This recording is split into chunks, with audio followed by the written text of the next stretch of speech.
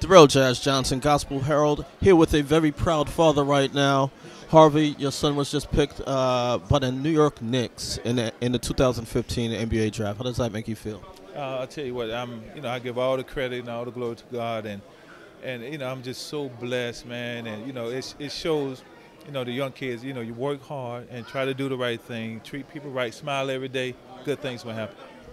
At what point in your son's career did you did you start to think that he had a chance of playing at the NBA level?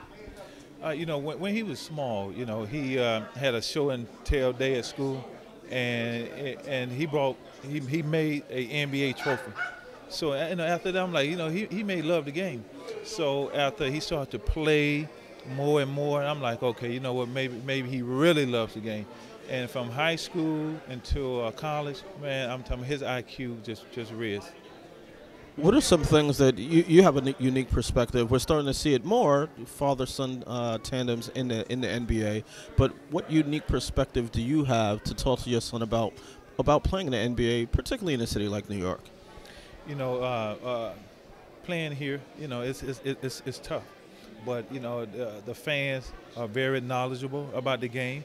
If you play hard and, and make shots and do the right thing, you know, they love somebody who play the game the right way. And um, I can say this, you know, I'm not just saying this because he's my son, but I'm saying this because his IQ about you know uh, in the game of basketball is off the chart, and he loves the game. You got to love the game, and and, and those two things, you know, will, will get you where you need to go.